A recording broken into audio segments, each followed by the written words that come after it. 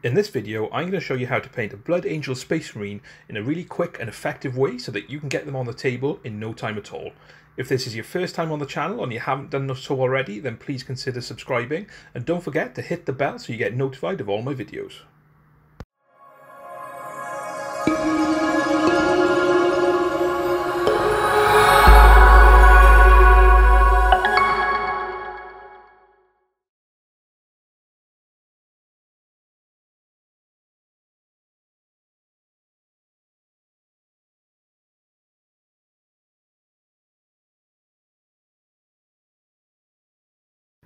Welcome to the Blood Angels video.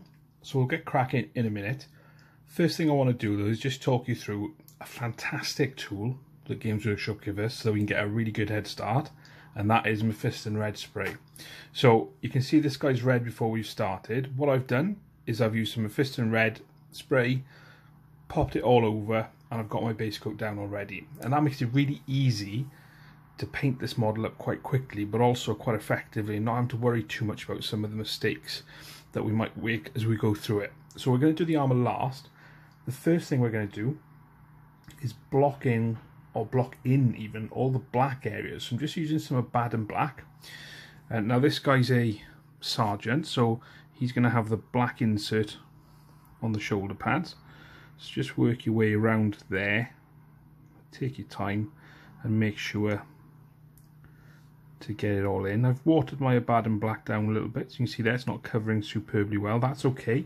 We'll do two, two thin coats to make sure that um, we get some nice coverage and we're not actually throwing the paint on too thick. So I've used some Death Company parts on here as well. So we've got the power sword, shoulder pad as well. Uh, so in terms of what we're going to do Abaddon black, we're going to do all the packs on the back, the leather on the belt. It'll make it stand out nicely against the red. So I'm going to carry on doing the black, got the holster there to do as well. And we'll come back and then we'll highlight it. And one more thing, don't forget all the joints on the armour as well. And any mistakes you make, don't worry too much because you can just go and fix them with some Mephiston Red nice and easily later on. Once we've got all the black done, just want to go in and highlight it. So I'm going to use Mechanicus Standard Grey for this. And make sure you haven't got too much on your brush. And all we're going to do, just follow the shape of the model, shape the sculpt. Just take your time, make sure you get all those edges that you want. Now I'm just going to do the one highlight, the Mechanicus Standard Grey. If you want to give it a little bit extra, you can do, just use some Dawnstone just to do the kind of sharpest edges. That'll look pretty good. Um, when it comes to the shoulder pads, just want to pop in a, just a line highlight down there. It's really important you've got a good edge on your brush for that. If you do go a little bit off course, then you can just go back in with some of Abaddon black just to tidy up the line. And of course the last bit we've got to do is just the chest eagle here. pick up those lower portions. So what I'm going to do is for the harder kind of areas, such as the chest eagle, the shoulder pad, I'm probably going to give it that extra highlight just to make it pop a little bit more. So I'll get that set up on the palette, I'll come back and show you how to do it now. So just take your Dawnstone on your brush. Again, you don't want too much on your palette, water it down a little bit. And then make sure you've got a good nice point on your brush. We're just going to do this on the kind of the harder areas. So we've got the shoulder pad,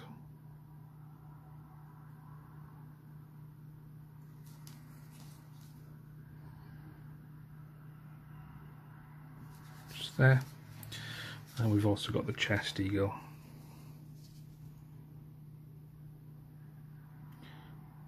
it's just a nice way of making the harder areas just that little bit more alive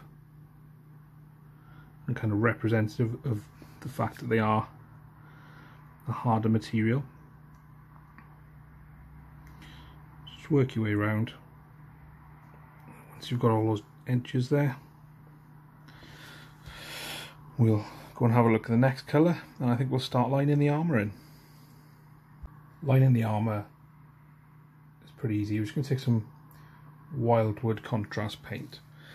Um, I'll show you just here on the knee. I'm using this neat. Again, that's because if we make any mistakes, then we can just go in and tidy it up with Mephiston Red. So just work it into the joints. And as it dries, it'll pull away from the edge and just dry into the middle of the joint. So it's nice and straightforward.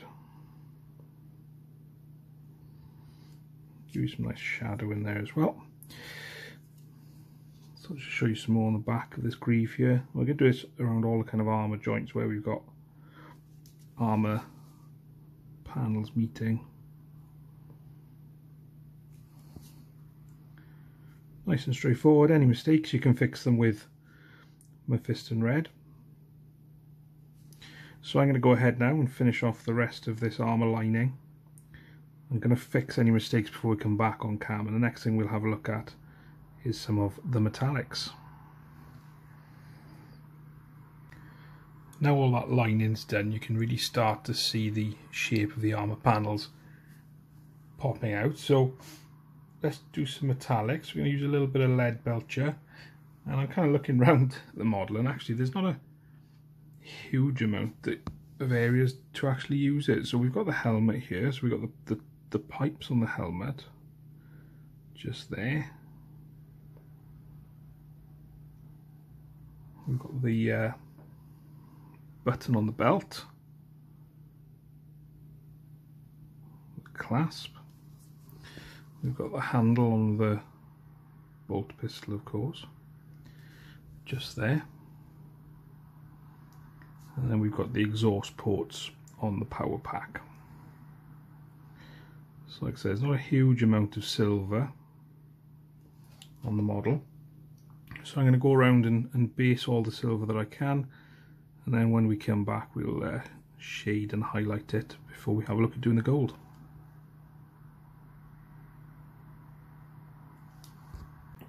Once the Leadbelcher is dry, you just take some Nuln Oil and this is nice and straightforward in terms of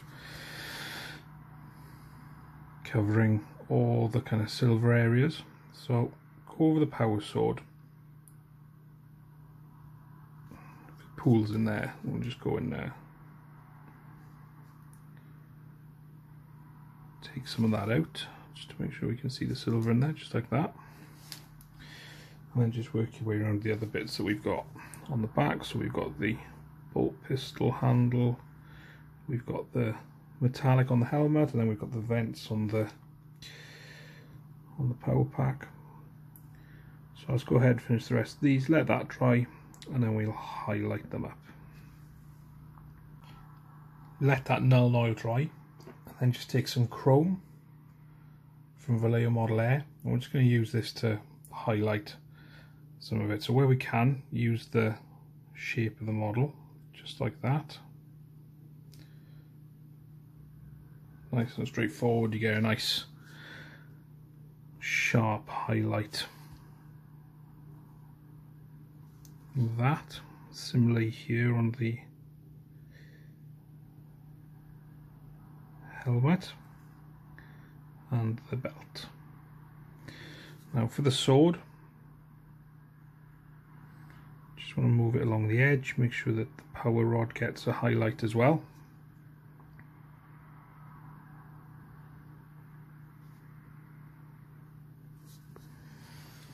and just make sure you've got a decent point on your brush so that you can highlight this inner line as well. Just take your time and work your way through. That's a nice highlight on the power sword then before we worry about going in and uh, getting a bit of a glow on it. So I'm just going to finish off now, just put some more uh, bits of chrome where I think uh, the model will benefit from it, do the other side of the sword, and then we'll do the gold next. For the gold, we'll use Retributor armor. So we've got the ornate kind of angel wing guard on the uh, on the sword. So you want to get all that covered in Retributor armor, taking care not to get it anywhere else. We've got the back of the pommel here, so we can do that in gold. And then we've got the decoration on the shoulder guards. We've got the gem and the blood vial. So just take your time. Work your way around If you do make a mistake, you can just go and cover it up with some Abaddon black. There we are. And on this model is uh, it's a sergeant, so the helmet's got a, a, little skull on it as well. So we'll just do that in gold to uh, mark his rank. So I'll go ahead and finish the rest of the gold. We'll come back and we'll shade it and highlight that. Once that gold is dry, just take some Reikland Fleshshade and just work it all the way around. It's nice and simple, nice and straightforward. Just be careful not to get it on areas that you've uh, you've already painted. And then once that's dry, we'll come back and we'll uh, give the gold a little highlight.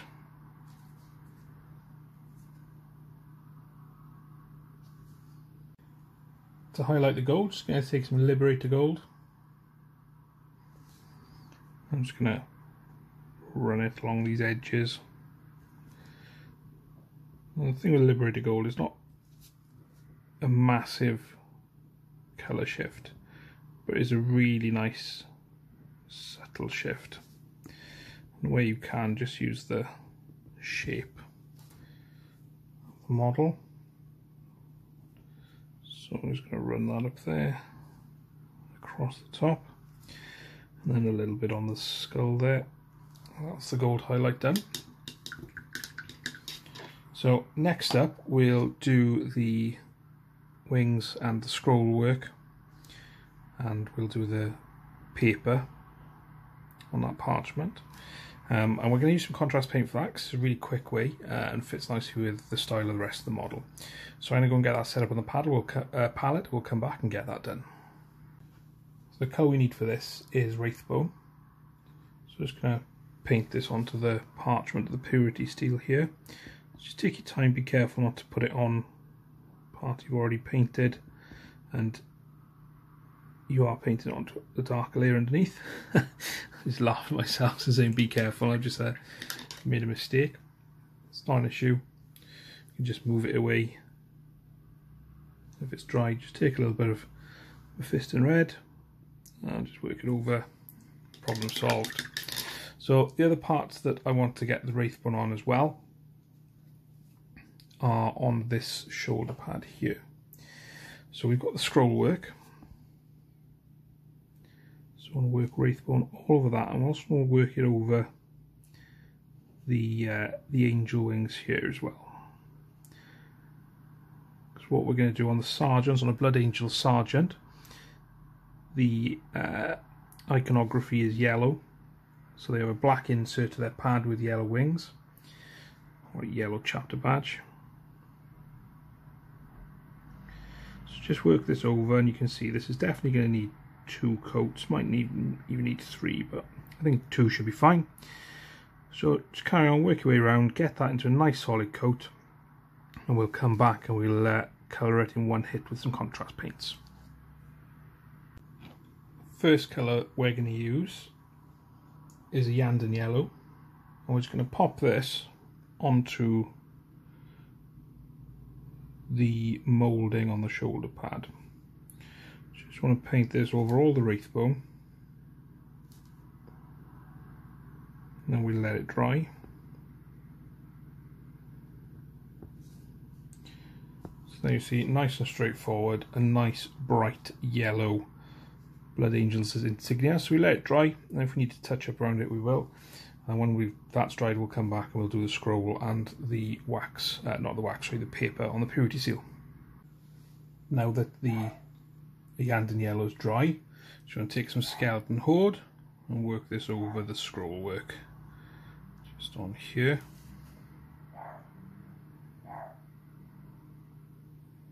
And on the parchment attached to the purity seal. Just let that dry. You don't want to put too much on, just enough to stain the model really, get into those recesses. Let that dry. And then we'll come back and we'll have a look at painting um, the purity seal, the gems and the eye lenses. So next up we'll paint the purity seal wax. Um, we'll also paint the this gem here and I'll go and do the other ones off camera. So to start off we just want to take some Caliban green and just cover this over the wax part of the purity seal. Again, be really careful, take your time not to get it on any of the red armour, but again, if you do, just go back in with some of Mephiston Red to, to tidy it all up. For the gem, what we're going to do is we're going to take the Caliban Green and just move it like that so it takes over a about three quarters of the gem surface itself. So next up, just take a little bit of Warpstone Glow. We've got two things to do with this. The first thing we're going to do with the Warpstone Glow is we're going to highlight the wax part of the purity seal, just like that. And the other thing we're going to do with Warpstone Glow is we're just going to do a a wrong way round G. So you think of the letter G, we're going to pull this down and then just around like that there. It's nice and straightforward. Then take some moot green.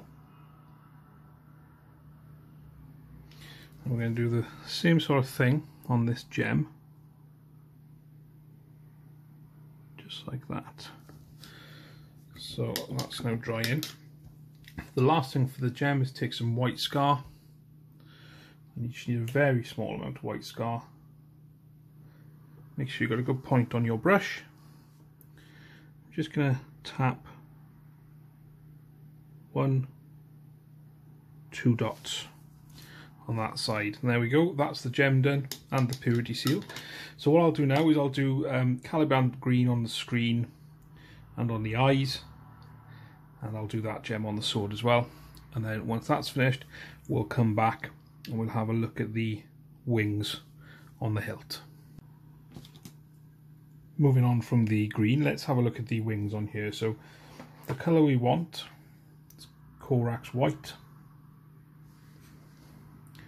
All we're going to do is we're just going to paint it on. Take your time. And make sure that you don't go over anything you've already painted. So I'll finish this off cam. If you do need to do a second coat then I'd expect you may need it in some places and then we'll come back and we'll get it shaded and highlighted and then we'll have a look at the red armour and we'll be pretty much done. In terms of the face I've got a painting tutorial up already for that so I'll put a link to that in the cards so you can go and watch how to paint the face separately once you finish this one of course. Um, so I'll finish off this white and we'll come back and we'll shade it. Once that Corax white is dry just going to take some Apothecary white contrast paint and we're just going to paint that over the wings. Again, be careful not to get it on anything that you've already painted. A different colour to the white. This is really simple and straightforward. So there we are, let that dry and I will come back and highlight it. When that apothecary white is dry, I want to take some white scar, just edge highlight the wings. Just take your time doing this. I say that with every stage, don't I? Take your time, but it really is better that way. Because you make less mistakes, so you'll end up being quicker in the long run anyway. So that's that bit there done. The next thing I want to do is the the sword. And I want to do a bit of a, a glow around the power node. So to do that, I'm using fluorescent green from Vallejo model color. And this is one of those really straightforward things where you just paint it on. So just paint it on there and work it down the sword. And the same on this side here. So it's just got a green power glow on it. So what I'll do is let that dry and see how glowing it looks and then we might go in and add a, another coat to it we'll see just leave that for now and then we'll uh, make a start on the red armor next here we go with the armor then so the first color we're going to use is Evil Sunz Scarlet and we're going to use this to do the first edge highlight. So all you want to do is you want to work your way around all the edges on the model. Take your time when you come to bits you might need to freehand a little. Where you can use the shape of the model like that because it just makes it that much easier to get that first highlight in. So you want to work this all the way around the red armour including the helmet on his belt knee pads where you've got the extra armour on the knees. You can just follow the follow the design there nice and easily so take your time work your way around all of the armour panels on the model and we'll come back and we'll give them their next highlight next up we're going to work some Trollslayer orange in a kind of a finer highlight over that Evil Sunz Scarlet. So with this we just want to catch the sharpest parts of the armour because we don't want the armour to go too kind of orange in its shading. So again use the shape of the model where you can. So I'm just kind of looking to pick out those highest points with the orange.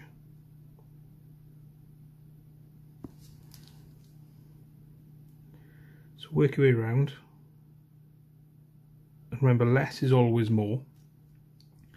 You don't want to be putting it on every kind of armour, uh, sorry, every sharp edge because otherwise you'll have a very kind of orange looking blood angel and what we want is something that transitions between them. So work your way around the rest of the model. I'm going to work my way around the rest of this and we'll come back. We'll put one more spot highlight on the armour and then that's the marine itself done. Now with the helmet, as the Blood Angels, they've got different colour helmets. So their assault troops wear yellow, their uh, heavy troops, devastators wear blue. So if you do want to paint or learn how to paint those colours for the helmets, then I'll put some links to my videos in the end screen which are Imperial Fists and Ultramarines, and I'll show you how to paint those colours. Okay, so I'm going to finish off the rest of this. We'll do one more little dot highlight on the armour to make it, to really set it off, and then this guy's done. So the last little bit on the armour, and this really is a little bit, just take some Cadian Fleshtone, and you just want to put a tiny amount, very thin lines dots almost. See, that's a little much. But just where the armour is the absolute sharpest, just to set off the reflectiveness or implied reflectiveness of the hard edges.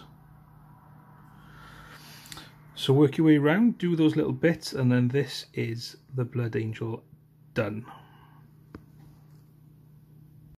So there we have it, this Blood Angel's done, looking great and ready for battle. I really hope you enjoyed the video. If you have, then please leave a like and a comment down below. And if you want to support the channel, then please consider using some of the links in the description. They do help me, it doesn't cost you anything extra, just means I can keep making my videos for you. Thanks for watching again, I'll see you next time.